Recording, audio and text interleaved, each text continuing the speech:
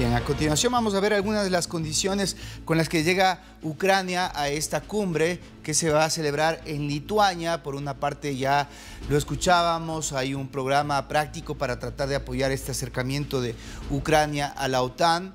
También la creación de un consejo para analizar lo que está pasando en la guerra y la cancelación del plan de acción de membresía en eh, suprimir de dos a un paso la posibilidad que tiene que tener cada país que desee adherirse a este acuerdo del Atlántico Norte. Esto lo dijo James Stoltenberg, secretario de la OTAN. Saludo de inmediato a Mariano Causino, especialista en relaciones internacionales desde los Estados Unidos para profundizar en lo que será esta cumbre de la OTAN. Mariano, gracias por su presencia. Te saluda César García, ¿cómo estás? ¿Qué tal? Un gusto en saludarlo. ¿Cómo están ustedes? Muy bien. Muchas gracias. Bien, hay eh, sin duda alguna Ucrania será el centro de esta nueva cumbre de la OTAN.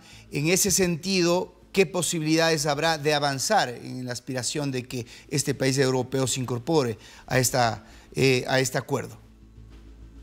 Bueno, yo le diría que eh, evidentemente Ucrania va a ser el centro de conversaciones de la reunión de la OTAN eh, que va a tener lugar en los próximos días.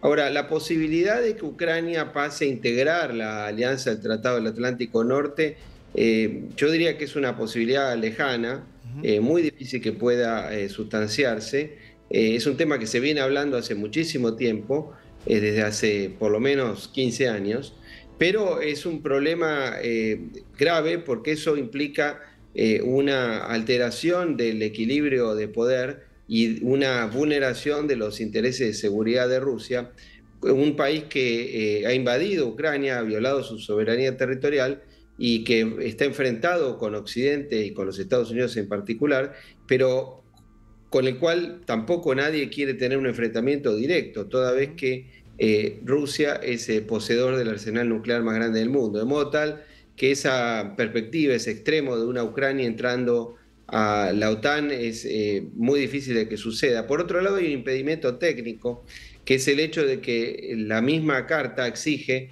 que un país para poder ingresar a la organización tiene que tener resueltas sus fronteras, tiene que no tener conflictos de frontera y territoriales y precisamente Ucrania es el caso de lo contrario, ¿no? por la situación que conocemos derivada de la invasión rusa. Mariano se incorporará finalmente Suecia tras eh, tener el visto bueno de Turquía. Eh, haciendo un poco de historia, ¿qué significa este proceso en el cual un nuevo país se suma eh, en la historia de cuál fue el origen de, la OTAN? Bueno, la OTAN fue creada en 1949 como respuesta a la expansión soviética en Europa del Este eh, como consecuencia de los arreglos que siguieron al fin de la Segunda Guerra Mundial.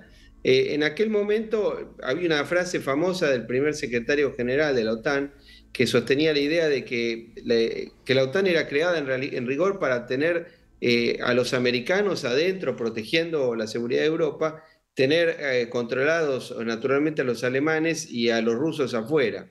la OTAN, después del fin de la Guerra Fría, eh, se dijo que había perdido su significación. Incluso ustedes recordarán que en algún momento se discutió la posibilidad de que la misma Rusia ingresara a la OTAN. Eh, y los rusos quisieron ingresar a la OTAN, pero después eh, los países occidentales no cumplieron con esas expectativas. Y se produjo una sucesión de ampliaciones de la OTAN hacia el este, que son el origen del conflicto que existe entre Rusia y los Estados Unidos, eh, dado que eh, los rusos interpretan que los norteamericanos incumplieron una promesa formulada a comienzos de los años 90, según la cual la unificación alemana no iba a suponer la expansión de la OTAN hacia el este. Y como ustedes saben, eso sí finalmente se produjo durante el gobierno de Clinton y eh, de George Bush hijo. hasta llegar al extremo que estamos actualmente con el mayor descenso de la relación entre eh, Rusia y los Estados Unidos. ¿consideras que habrá una posibilidad de que la OTAN también se convierta en un mediador para poder lograr una renovación en el tema de eh, lo que pasaba en el puerto de Odessa? Turquía fue protagonista junto a las Naciones Unidas para poder permitir que toda esa cantidad de granos no se represe en ese punto del Mar Negro. ¿Será una oportunidad para que también eh, Erdogan nuevamente ponga esto en el tapete? Bueno, el presidente turco, eh, eh, Recep Erdogan, obviamente que tiene un rol central en cuanto a un intento de negociación entre Rusia y la OTAN, en tanto que Turquía es un país integrante de la Alianza Atlántica, pero es un país que tiene una relación eh, compleja con Occidente, ¿no? Tiene una relación compleja con Estados Unidos, incluso tiene una historia muy de un gran enfrentamiento con Rusia, no, no, hay que olvidar que la Federación Rusa actualmente es sucesora de la Unión Soviética y del Imperio zarista, y al mismo tiempo Turquía es sucesora del Imperio Otomano. Son dos ex imperios, dos países cuyo liderazgo no, no acepta para sí un rol menor al de estar en la primera línea de los acontecimientos mundiales. Eh, yo creo que Erdogan eh, va a intentar, o está intentando, eh, negociar el levantamiento del veto para el ingreso de Suecia a la OTAN a cambio de un impulso a la posibilidad de que Turquía ingrese a la Unión Europea, que es una perspectiva difícil de imaginar en el corto plazo, de modo tal que probablemente esta eh, situación pueda extenderse en el tiempo. En el día de hoy, como ustedes bien decían, el gobierno turco anunció que, que daba una suerte de luz verde a esta posibilidad y lo envió al Parlamento. Pero hay que ver si eso eh, finalmente es, eh, si sucede o si es una parte de una carta de negociación del líder turco frente a la Unión Europea. Ciñéndonos al tema armamentístico, ¿se prevé aprobar algún tipo de paquete nuevo, tanto de ayuda económica como de armamento para destinarlo hacia Ucrania?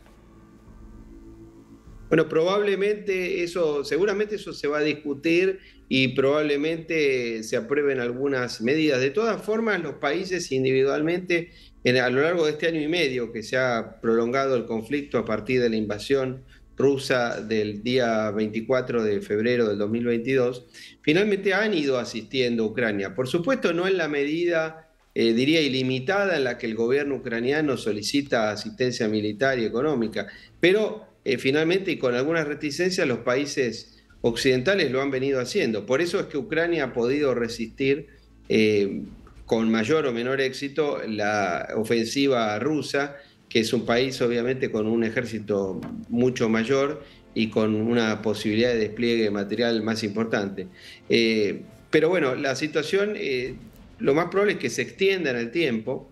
ustedes saben que a su vez el conflicto que hay en Ucrania en realidad no comenzó el 24 de febrero. Este, este conflicto se viene eh, prolongando desde hace por lo menos casi 10 años, desde la anexión de, Ucrania, eh, de Crimea por parte de la Federación Rusa y el levantamiento que allí se produjo a partir de esa situación en el Donbass, donde hay una suerte de guerra civil, eh, que han muerto más de 15.000 personas, que enfrenta al gobierno soberano ucraniano eh, liderado por Kiev, con eh, las regiones separatistas o independentistas del sur y del este de Ucrania que tienen una población rusa o étnicamente rusa.